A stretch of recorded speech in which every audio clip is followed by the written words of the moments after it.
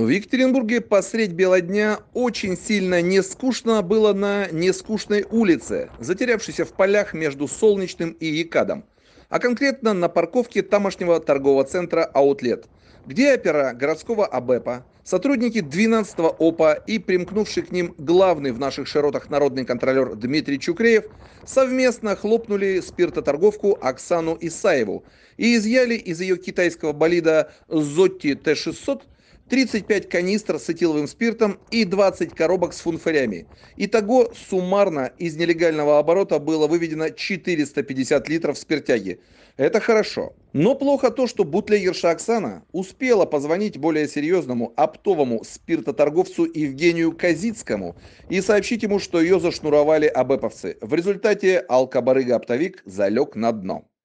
А предыстория у этой мощной полицейской спецоперации такая – Общественники из народного контроля из закрытых телеграм-каналов узнали номера телефонов двух алкобарыг, которые нелегально приторговывают спиртом в 10-литровых канистрах и 100-миллилитровых фунфырях. Кроме номеров телефонов, ничего другого у народных контролеров на алкобарыг не было. Потому они поступили просто. Созвонились с обоими. Одним оказался Евгений, другая назвалась Ксенией.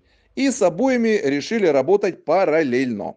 Сначала общественники организовали контрольную закупку у Ксении и легко приобрели типа на пробу одну канистру со спиртом за 4300 рублей и одну коробку с фунфарями за 2300 рублей, что в принципе дорого. Ну, раньше считалось дорого. Видимо, сейчас как-то курс доллара, что ли, сказался, или какие-то неведомые санкции. Параллельно по той же самой схеме общественники закупили у бутлегера Евгения две коробки с фунфарями. После этого народные контролеры, как всегда, обратились в АБЭП и началась полицейская операция, в рамках которой сначала у Ксении закупили 35 канистр и 20 коробок с фунфарями, после чего созвонились с Евгением и договорились на закуп 50 канистр с 95% этиловым спиртом. И вот, будьте любезны, первая фаза операции. С Ксенией стрелку забили на нескучной улице на парковке ТЦ «Аутлет». Крашеная блонда подкатила на китайском болиде Зотти с забитым под завязку спиртягой. Ей за товар заплатили и даже сдали сдачу. Сдача в размере 550 рублей ей возвращается. Подпись отказываетесь. Вот отказываетесь? Хорошо. Подпись отказалась. Прошу понятые зафиксировать данный факт сейчас. Пишу это. 1526193 1526193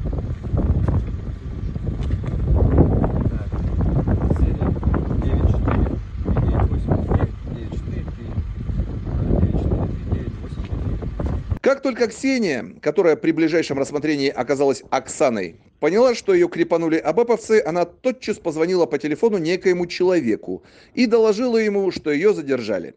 Опера, естественно, телефончик вежливо изъяли, и прикиньте, каково же было их удивление, когда они увидели на экране умнофона номер своего второго клиента, Евгения, которого они планировали хлопнуть вслед за Оксаной. Оказалось, эти барыги были между собой знакомы, да и походу работали совместно. Ну, видимо, очень тесен мир алкоторговли.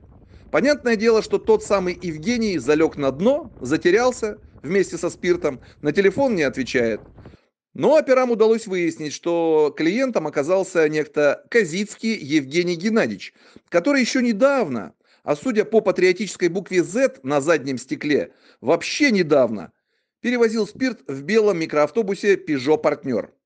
Он в свое время был учредителем ООО «Уральская фармкомпания» и занимался, как следует из документа, оптовой торговлей фармацевтической продукцией. Но его организация уже три года как ликвидирована а торговля спиртом продолжается. Ну, теперь уже нелегально, бутлегерно. По нашим данным, именно Евгений Казицкий занимается деятельностью очень давно на территории города Екатеринбурга. Именно от его рук э, заполняются некоторые киоски и магазины города спиртом, а также подпольные цеха э, получают канистры с этиловым спиртом. Буквально на днях, когда мы э, пытались найти и искали распространителей спирта. Мы нашли его телефон в интернете, который нам подсказали добрые люди. И именно он реализовал нам две коробки с этиловым спиртом со шкаликами по цене 2300 рублей за коробку. И, как оказалось, это не случайно. И именно он э, был тем человеком, которому звонила Ксения, а по-настоящему Оксана, которую сегодня задержали, она звонила именно Евгению и пыталась просить о помощи, чтобы он как-то ситуацию эту отрегулировал.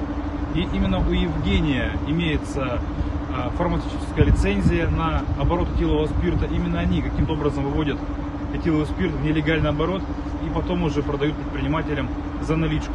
Известные автомобили, на которых они возят данную продукцию, а также фотографии. Мы это вам все показываем и надеемся, что их будут очень часто проверять сотрудники полиции. К сожалению, Казицкий, привет всем фанатам фантастического писателя Вадима Панова и его свежайшего романа «Столкновение», Казицкий с крючка абэповцев соскочил.